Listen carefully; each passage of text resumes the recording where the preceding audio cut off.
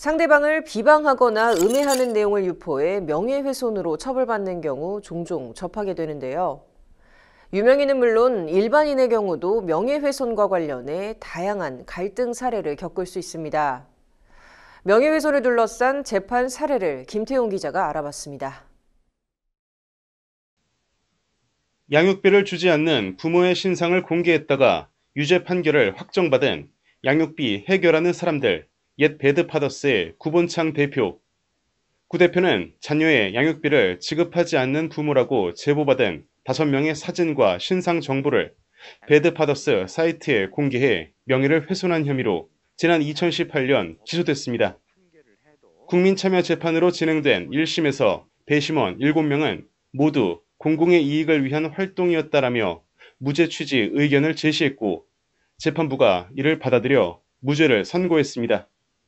하지만 2심은 피고의 행위는 사적 제재라며 유죄로 본 뒤 다만 참작할 점이 있다며 벌금 100만 원의 선고를 유예했습니다. 구 대표는 국가가 사회적 약자에게 피해가 심하고 억울하더라도 입을 닫고 살라고 강요하는 것이라며 대법원에 상고했지만 대법원은 2심 판결을 받아들였고 지난달 벌금 100만 원 선고 유예가 확정됐습니다. 네, 우리 법에서는 이런 어떤 사적인 제재를 가하는 것을 원칙적으로 허용하지 않습니다.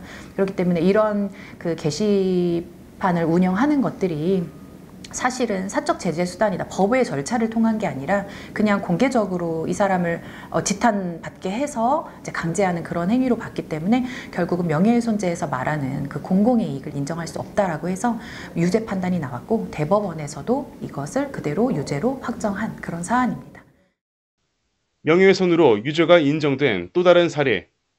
지난 2015년 한 야구 선수는 치어리더 A씨의 사생활이 좋지 않다는 문자를 여자친구에게 보냈는데 두 사람이 결별한 후 여자친구는 이 문자 메시지를 SNS에 올렸습니다.